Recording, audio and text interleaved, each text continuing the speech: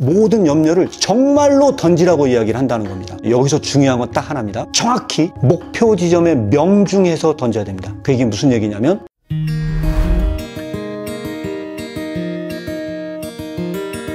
예, 안녕하십니까? 저는 현재 카리스 아카데미 출판사를 운영을 하면서 또 한국 키르케고르 연구소를 얼마 전 설립을 하고 키르케고르 작품을 한국에 주로 소개하는 일을 하고 있는 이창우 목사라고 합니다.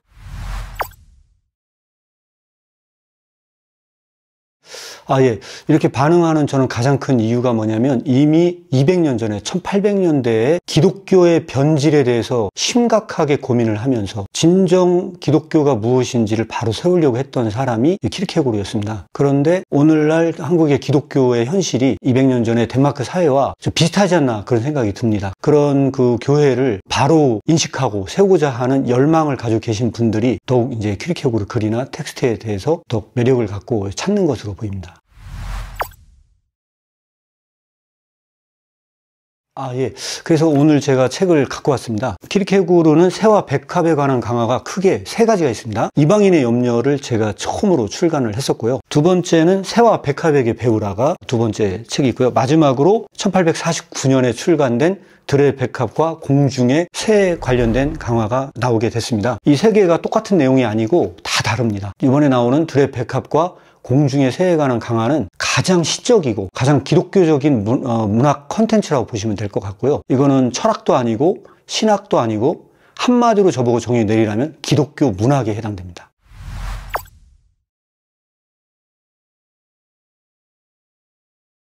예, 간단하게 말씀을 드린다면요. 키르케고르는 이 침묵을 이렇게 설명을 하고 있습니다. 잠언서 9장 10절 말씀은 여호와를 경외하는 것, 여호와를 두려워하는 것은 지혜의 시작이라면 침묵은 여호와를 두려워하는 일의 시작이다. 이렇게 이야기를 하고 있습니다. 다시 말씀드리자면 이 논의에 의하면 침묵은 지혜의 시작입니다. 근데 여기서 침묵이 뭐냐? 키르케고르는 이 책에서 이 침묵이 무엇인지 분명하게 밝히고 있습니다. 어떻게 밝히고 있냐면요. 이 침묵을 잘 모르는 사람들이 먼저 굉장히 많은 말을 갖고 하나님에게 갈 수 있다는 겁니다. 그래서 하나님에게 굉장히 많은 말을 합니다. 그런데 중요한 건 그 기도가 점점 더 깊어지면 깊어질수록 말을 상실한다고 이야기를 합니다. 그 말을 상실하다가 결론적으로 딱 한마디의 말에 이른답니다. 그 한마디의 말이 뭐냐면 주여 말씀하소서 제가 듣겠나이다 하는 지점에 도달한다는 겁니다. 그때 기도란 많은 말을 하는 것이 아니라 하나님의 음성을 듣는다는 사실을 깨닫게 된다는 겁니다. 그 설명을 하면서 키르케고르는 침묵은 기도라고 말을 합니다. 따라서 이와 같은 설명에 의하면 여호와를 경외하는 것이 지혜의 시작이라면 여호와를 경외하는 기도는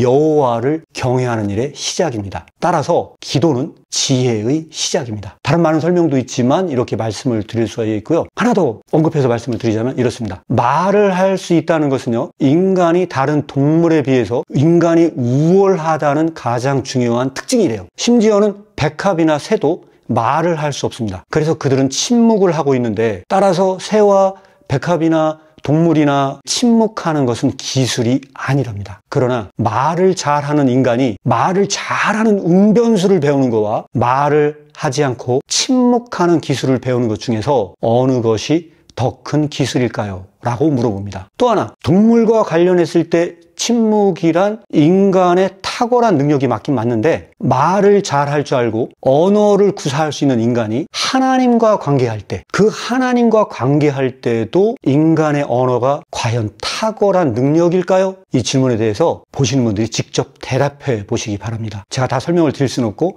책을 읽어보시면 아마 여러분들이 느끼는 바가 있을 것입니다. 이 순종은요, 지금까지 소개되지 않은 굉장히 중요한 부분인데 키르케고르에게서는 기독교적인 순종이 굉장히 강조되고 있습니다. 그 순종이 어느 정도 강조되고 있느냐? 제가 여기에서는 다 설명을 드릴 수는 없으나 순종이야말로 진정한 자유입니다. 자유. 우리는 보통 이것이냐 저것이냐를 선택할 수 있는 것이 자유라고 착각을 합니다. 혹은 선인지 악인지를 선택할 수 있는 것을 자유라고 착각을 합니다. 그러나 이것은 엄밀한 의미에서 그가 선 밖에 있다는 측면에서 이것은 진정한 자유가 아님에도 불구하고 이것이 자유인 것을 오해가 되어져 있는 부분이 있습니다. 그런데 여기에서 무조건적인 순종 가운데 있는 사람은요, 참으로 자유로운 사람에 해당됩니다. 진리를 알지니 진리가 너희를 자유케 하리라고 하는 그 하나님의 말씀은 우리가 진리 가운데 있을 때만 자유로운 거지 진리 밖에 있을 때 자유롭다고 말할 수 없는 거거든요. 그래서 이런 순종이 어째서 자유로운 것인가를 논하기는요, 굉장히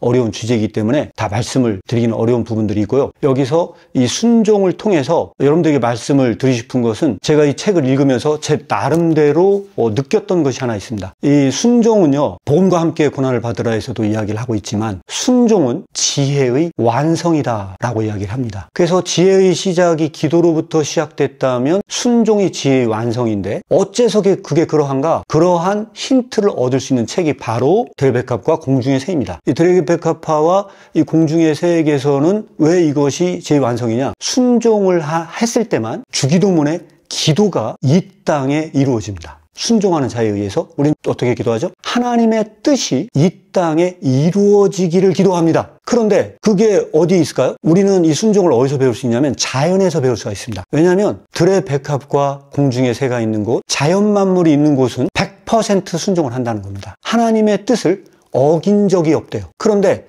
인간은 그 자연 속에 들어가잖아요? 그러면 인간은 불협화음입니다.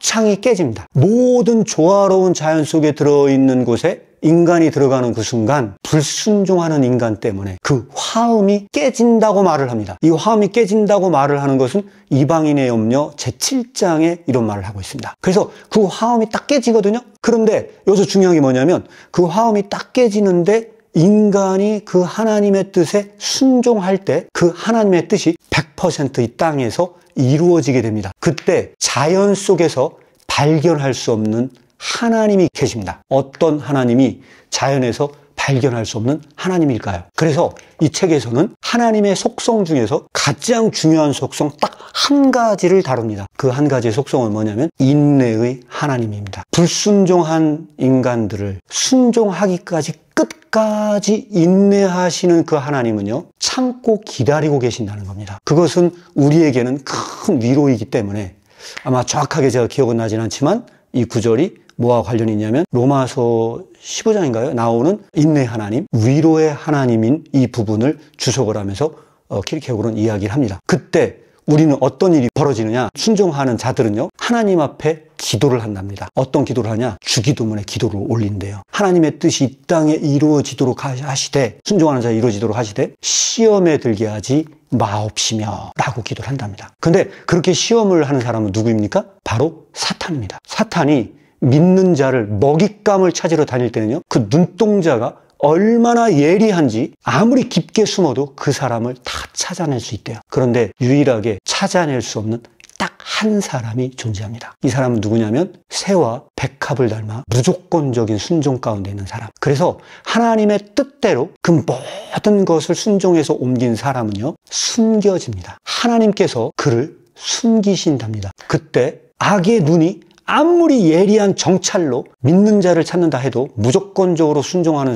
자는, 찾을 수가 없으며 무조건적인 순종에 있는 자는 바로 그 사악한 눈을 발견할 수 있다는 겁니다. 악의 눈은 순종하는 자를 발견할 수 없어도 순종하는 자는 그 악을 볼 수 있답니다. 이런 점에서 순종을 나누고 있고요. 순종은 기독교인이 행해야 할 가장 중요한 과제 중의 하나로 이 책은 설명하고 있습니다.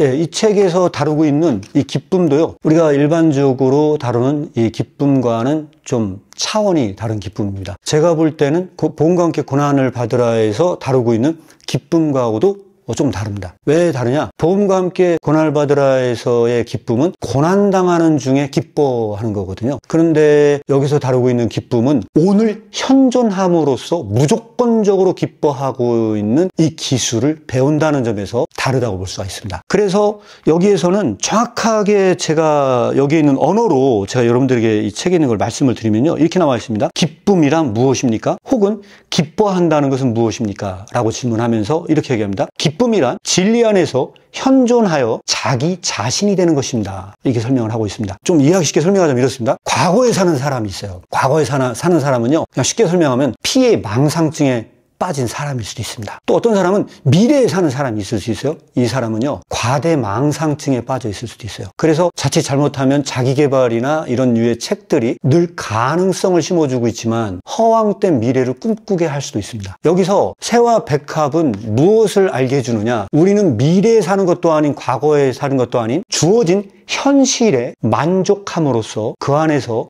기쁨을 맛볼 수 있도록 도와주는 선생으로서 작용한다는 것이 바로 이 새와 백합의 어, 가르침입니다. 여기서 키르케고르는 마지막 결론으로 누구를 인용하고 있느냐? 십자가에 달린 죄수를 인용하고 있습니다. 십자가에 달린 죄수가 나를 좀 구원해 달라고 예수님께 요청을 합니다. 그때 예수님은 뭐라고 말씀하시냐면 여러분들 잘 알다시피 오늘 내가 나와 함께 낙원에 있으리라 라고 얘기를 합니다. 여기서 특별히 킬케고르는 뭘 강조하냐면요. 오늘이라는 말을 강조합니다. 십자가 달린 그 죄수는 죽어서 하나님의 나라를 간 것이 아니고 십자가 상에서 오늘 정말로 낙원에 이르렀다고 설명을 합니다. 바로 이것이 새와 백합처럼 오늘을 산 사람들에게 즉각적으로 주어지는 기쁨으로 설명을 하고 있습니다. 그래서 이 책에서 다루고자 하는 기쁨은 바로 이런 류의 기쁨을 말하고자 하는 겁니다. 예, 이 기쁨을 그러면 어떻게 하면 기뻐할 수 있는가? 그 어떻게가 나옵니다. 이 책은 투석기 얘기를 하거든요. 그러면 어떻게 하면 우리가 새처럼 기뻐할 수 있냐? 그것은 현존하여 자기 자신이 되는 겁니다. 어떻게 하면 현존할 수 있냐? 내일의 염려를 제거하는 것인데 이 내일의 염려는요 뭐와 같냐? 안개와 같아요. 안개는 멀리서 보잖아요. 어마어마하게 커 보여요. 그래가지고 두려워요. 이 안개 속을 들어간다는 건 되게 두려워 보이거든요. 근데 막상 딱 들어가 보잖아요. 실체가 없어요. 내일은 마치 그와 같은 겁니다. 우리가 내일을 멀찌감치 바라보고 있으면요. 너무 두려운 나머지 내일에 대해서 궁금해요. 그래서 사람들은요. 그 내일에 대해서 두려워 떨고 있습니다. 그런데 여기서 키르케고르는 이방인의 염려에서 마치 기독교인들은 조정경기 선수처럼 살 아라고 얘기를 합니다. 조정경기 선수들은 배를 저으면 어디로 갑니까? 배가 이렇게 배를 저으면 어디로 갈까요? 배가 앞으로 가는 게 아니고요. 뒤로 갑니다. 목적지가 어디에 있습니까? 뒤에 있습니다. 근데 그 목적지를 보기 위해서 고개를 돌리면 그 사람은 제대로 목적지에 도달할 수가 없습니다. 키르케고르는 이 예화를 들면서 뭐라고 얘기를 하냐? 미래를 보고자 하는 자는요. 고개를 들리는 그 순간 미래의 목적지가 보이는 게 아니고 뭐만 보이느냐? 초조, 조바심, 불안만 보인다고 이야기를 합니다. 따라서 믿는 자는 내일을 보려고 하는 게 아니고 정확하게 적들로부터 등을 돌려서 현존하는 오늘을 살기 위해서 하나의 노를 젓는다고 이야기를 합니다. 바로 이것이 오늘을 살아가는 사람의 자세예요. 그런데 이렇게 하기 위해서 가장 먼저 해야 될 일이 뭐냐면 이 책은 투석기처럼 내일의 염려를 던지라고 말을 합니다. 그런데 내일의 염려를 던지라는 말은 뭐에 대한 주석이냐면요. 베드로전서 5장 7절인가에 보면은요. 염려를 여호와 하나님께 던져 버리란 말이 나옵니다. 영어로는 뭐라고 나오냐면 all cast all your anxiety on him이라고 나옵니다. 그럼 이게 무슨 얘기입니까? 모든 염려를 정말로 던지라고 이야기를 한다는 겁니다. 그럼 그 모든 염려를 다 던지면 어떤 일이 벌어지냐? 하나님께서 그 염려를 지고 가십니다. 여기서 주의할 게 하나가 있습니다. 마치 투석기처럼 그 비유로 투석기를 예를 들거든요. 투석기처럼 던져버리는데 아무데나 던지는 사람이 있대요. 이 염려를 던지긴 던졌어요. 아무데나 던지잖아요. 문제는 뭐가 되냐? 언젠가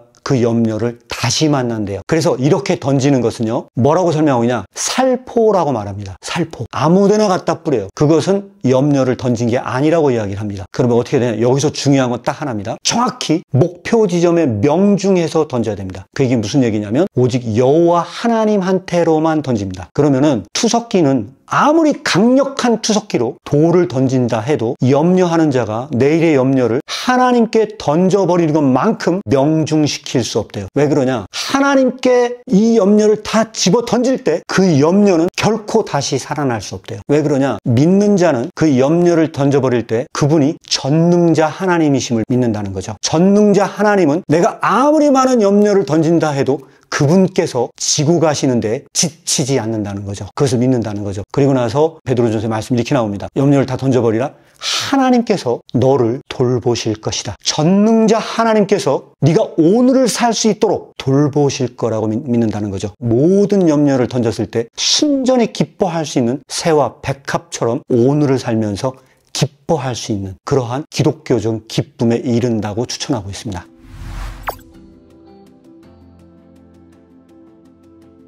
러시아 시인이 하나 푸키친인가 그 시, 시인 있지 않습니까? 그 시인이 쓴 시가 뭐가 있냐면 이런 시를 썼습니다. 내가 아무리 고통을 당할지라도 슬퍼하지 말라. 언젠가 너에게 기뻐할 날이 올 것이다. 뭐 이와 같은 그런 시를 썼고 또 그것을 노래로 만들어서 합창을 하고 하는 것도 제가 본 적이 있었거든요. 근데 제가 이걸 보면서 어떤 생각을 했느냐. 이러한 이야기가 이 텍스트에 비하면요. 가장 넌 크리찬적인 시입니다. 이 기쁨은요. 오는데 실패할 수가 있습니다. 지금 내가 고통을 당할 수 있어요. 근데 언젠가는 그 기쁨이 오겠다는 이야기거든요. 근데 이거는 기독교적인 기쁨이 아닙니다. 이거는 기쁨이 오지 않을 수도 있어요. 그것은 확률적이에요. 그러나 오늘 우리가 이러한 부분에서 복음과 함께 고난을 받으라나 아니면 오늘을 산다라든가 이러한 유에서의 기쁨이라고 하는 것은요. 오는데 실패할 수 있는 기쁨이 아닙니다. 현존했을 때 그 순간에 즉각적으로 부여되는 기쁨이라는 점에서 다르다는 거예요. 그래서 이거는 오는데 실패할 수 없고요. 즉각적으로 주어지면서 이것은 영원히 남는 기쁨입니다. 만약 정말로 이러한 기쁨이 있는 것이 맞다면 오늘날 한국 땅에도 복음으로 살면서 힘들고 고난을 당하는 사람들이 많이 있습니다. 그런데 여기서 주의할 것이 하나 있습니다. 오늘 여러분들에게 명확하게 구분하기 위해서 제가 말씀을 드린다면 복음은 여러분들이 유한한 목표로 인해서 고난당하라고 하는 것이 아닙니다. 여러분들의 성공과 여러분들의 세상에서의 그 사업의 안녕 그런 수많은 세속적인 것들을 경험하다 고통을 당하라는 이야기가 아니 거든요. 이런 유한한 것은